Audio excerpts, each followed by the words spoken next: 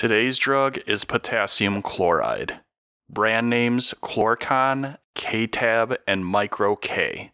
The therapeutic category is that it's an electrolyte supplement. Dosage form and strength. The medication comes as an extended release capsule in an 8 milli equivalent and 10 milli equivalent strength. It also comes in a packet that is a 20 milli equivalent strength. It also comes as an intravenous solution in a 10 milliequivalent per 100 milliliter concentration, as well as a 10 milliequivalent per 50 and 20 milliequivalent per 50, and many other concentrations. There is also an oral solution that comes in a 20 milliequivalent per 15 milliliter and 40 milliequivalent per 15 milliliter concentration. And lastly, there is an extended release tablet that comes in an 8 milliequivalent, 10 milliequivalent, and 20 milliequivalent strength. The main indication for potassium chloride is for hypokalemia. This is used in treating and preventing patients that have low potassium. Dosing by indication. Dosing for adults with hypokalemia. The first thing to note is to know the normal daily requirements is between 40 and 80 milliequivalents per day.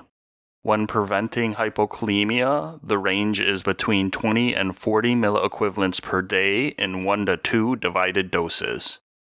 When treating mild to moderate hypokalemia, the dosing varies based on the dosage form. For capsules, tablets, and solution, the range is between 40 and 100 milliequivalents daily in divided doses. Limit the single dose between 20 and 25 milliequivalents per dose to avoid GI discomfort.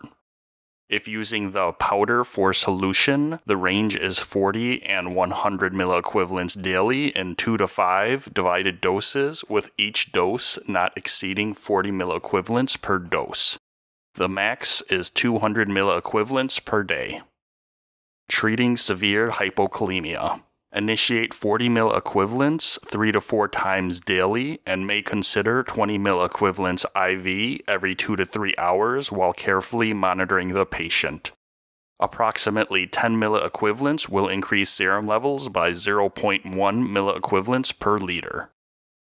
If using IV intermittent infusion, less than or equal to 10 milliequivalents per hour, repeating as needed based on labs with continuous ECG monitoring if greater than 10 milliequivalents per hour are used. If the serum potassium is greater than 2.5 milliequivalents per liter up to 3.5 milliequivalents per liter, the dosing is the max infusion rate of 10 milliequivalents per hour with a max concentration of 40 milliequivalents per liter. Max 24 hour dose is 200 milliequivalents. If less than 2.5 milliequivalents per liter, or if the patient has symptomatic hypokalemia, the dosing is 40 milliequivalents per hour, along with continuous ECG monitoring and frequent labs may require up to 400 milliequivalents per 24 hours. Dosing for pediatrics with hypokalemia. There is limited data, so refer to the most current literature. For prevention, the dosing is 1 to 2 milliequivalents per kilogram per day in 1 to 2 divided doses. A single dose should not exceed 20 milliequivalents per dose unless labs suggest higher dose is required treating mild to moderate hypokalemia in pediatrics. Oral dosing is between 2.5 milliequivalents per kilogram per day in divided doses. Max single dose of 1 to 2 milliequivalents per kilogram or 20 milliequivalents, whichever is less. If treating severe hypokalemia in pediatrics, the IV dosing is 0.5 to 1 milliequivalents per kilogram per dose with max dose of 40 milliequivalents. Infusion rate of less than or equal to 0.5 milliequivalents per kilogram per hour. Serum concentrations should be elevated 1 to 2 hours after infusion. If doing maintenance dosing for pediatrics with hypokalemia, infants and children less than or equal to 50 kilograms, IV dosing of 2 to 4 milliequivalents per kilogram per day. In children weighing more than 50 kilograms, IV dosing of 1 to 2 milliequivalents per kilogram per day. Mechanism of action and pharmacology. Potassium is an essential major cation responsible for the conduction of nerve impulses in the heart, brain, and muscle. It is also important in maintaining normal renal function and acid base balance. Another role is in carbohydrate metabolism and in gastric secretions. Absorption Potassium is well absorbed from the upper gastrointestinal tract.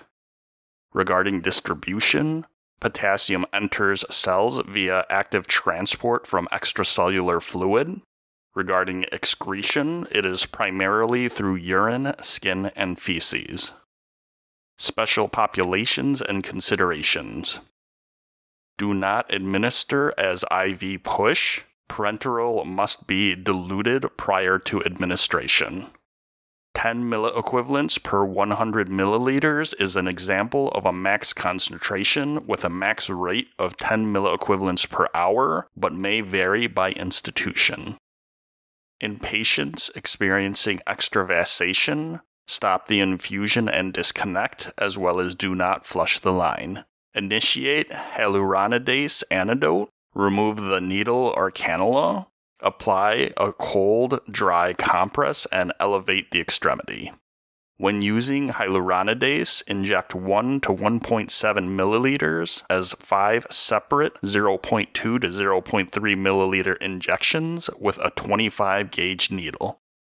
Regarding pregnancy, potassium has same requirements as pregnant and non-pregnant women. Potassium is not expected to cause any adverse fetal effects. Side effects. An overview of the side effects are upset stomach, nausea, vomiting, diarrhea. Some other concerns are cardiac conduction disturbances, edema, hyponatremia, which is low sodium, and extravasation. Drug interactions. As an overview, ACE inhibitors such as enalapril and lisinopril, ARBs such as losartan and valsartan, and diuretics, such as spironolactone and triamterene. All of these may raise potassium levels. A specific drug interaction is with glycopyrrolate, which may enhance adverse toxic effects of potassium chloride. And another specific drug is heparin, which may enhance hyperkalemic effects of potassium chloride. Monitoring parameters. An ECG monitor sodium, other electrolytes such as calcium, chloride, magnesium, and phosphate, monitor the acid base balance, and if IV is the route, infusion rates, and the infusion site. Patient counseling information. Potassium chloride is used as mineral supplementation to treat or prevent low amounts of potassium in the blood. Potassium is important for cell, kidney, heart, muscle, and nerve health. Abdominal pain, nausea, vomiting, diarrhea, and gas are common side effects, so take the medication with plenty of fluids to decrease stomach discomfort.